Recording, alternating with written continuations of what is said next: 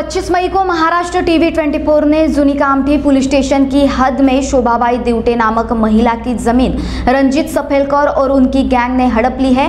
इस बात की न्यूज़ प्रसारित की थी।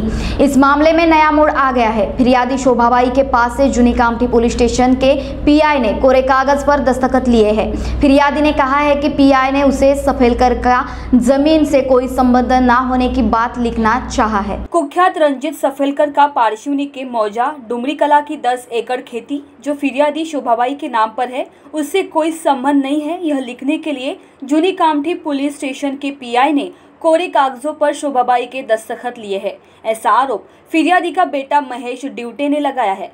दरअसल मामला पार्शिवनी तहसील के मौजा डुमरी कला के साढ़े दस एकड़ ज़मीन को लेकर है। जो रंजित सफेलकर और उसके गैंग के गिरफ्तारी के बाद सामने आया है। रंजित सफेलकर, अजय शाहू, शैलेश शाहू, योगेश शाहू, कालू हाटे और जगन्नाथ शाहू ने मिलकर फिरियादी शोभाबाई का भरे बाज़ार से अपहरण कर ज़बरदस्ती ज़मीन का सौदा कर रजिस्ट्री लगवा लिया था, जिसके बाद महिला ने पुलिस में रिपोर्ट दर्ज करानी चाहिए मगर उसे कोई न्याय नहीं मिला। मगर अब जब मामला दर्ज हो गया है तो पुलिस कोरे कागजों पर दस्तखत लेकर इस मामले में कौन सी कार्रवाई कर रही है या और किसे फ़ायदा पहुंचाना चाहती है यह सवाल खड़ा होता है। इस मामले में फिरियादी शोभाबाई के बेटे महेश ड्यूटे और जूनी कामठी पुलिस स्टेशन के पीआई के बीच फ़ोन पर बात हुई है। क्या बात हुई है आप खुद सुनिए। अरे इंस्पेक्टर शिरे बोलतो जुनी कामठी पोलीस स्टेशन। हाँ बोला ना सर। हा कोणाचा नंबर आहे? ड्युटीचा। दिवटे कोण? शोभाबाई. हो. अरे मग काय झालं? हॅलो. हा बोल ना शिरे बोलतो ना. हां बोला ना सर. अरे मग सीपी साहेबांनी नंबर पाठवला. काय झालं? सीपी साहेबाला भेटायला गेलते का तुम्ही? क्राईम ब्रँचला? अरे जुनी कामठी पोलीस स्टेशन. हो. हा कोणाला भेटले आज? आम्ही ते कोणते साहेब आहे आपले? राजमाने साहेब. हो. हा मग काय झालं? काय नाही आम्हाला म, व- तिकडून करायचं आहे इथं ते मगाने आम्ही आले बोलवलं होतं आम्हाला. हा. तर आम्ही आलो होतो तर ते म्हणे हम्म. मुद्दा असा नसा बनवा म्हणे. हम्म. आणि आईच्या कोऱ्या कागदावर सिग्नेचर घेतली. कोण? अं, त्या याईनी मगाने तुमच्याकडे आलतो तिथं कामठीमध्ये मी. अरे बाबा तिथं रजिस्ट्री लागली आहे ना फोटो आहे ना तुझ्या आईचा? हो पण मगानी कोऱ्या कागदावर साईन घेतली ना मगानी म्हणे ते अजय शाहू ह्या तिघायचं नाव सांगा म्हणे. हा. असा मॅटर बनवा म्हणे. हा मग? तर आम्हाला इथून हे करायचं आहे ना साम- सामोरून हे करायचं आहे नागपूरहून. मी नाही समजलो काय म्हणणं आहे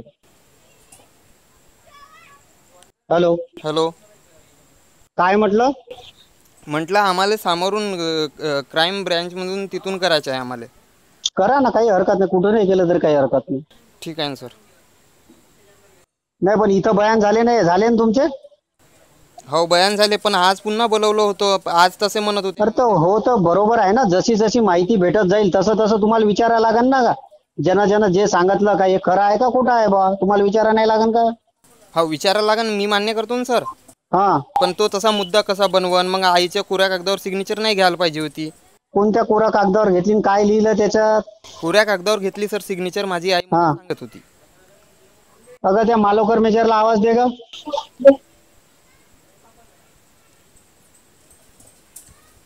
तू सोमवारी येऊन भेटू शकता का मला? सोमवारला? हो सकाळी. अं, ठीक आहे सर. तुला तो कोरा कागद तसाच कोरा दाखवतो मी. ठीक आहे? ठीक आहे सर. पाडून फेकून देऊन काय म्हणायचं आहे ते मला सांग मग. हो ठीक आहे सर. हम्म. इस मामले में मोबाइल के रिकॉर्डिंग में पीआई बोल रहा है कि तुम पुलिस स्टेशन आ जाओ। कागज़ फाड़ के मामला सुलझा देंगे। अब सवाल है कि पीआई ने किस कानून के तहत कोरे कागजों पर साइन ली थी और किसे फ़ायदा पहुँचाने के लिए उसने ऐसा किया था।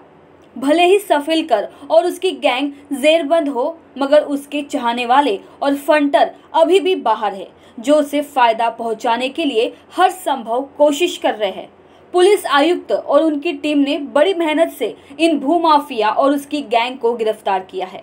मगर इन मामलों पर ध्यान न देने से आरोपियों को फ़ायदा पहुँच सकता है और केस उल्टा पड़ सकता है। ऐसे में ज़रूरत है पुलिस महकमों के आला अधिकारियों ने इन मामलों पर ध्यान देकर आरोपियों को गैर कानूनी तरीके से फ़ायदा पहुँचाने वालों पर कार्रवाई करनी चाहिए। महाराष्ट्र टीवी 24 के लिए रितेश बोरकर और प्रकाश शुंकलवार, नागपुर।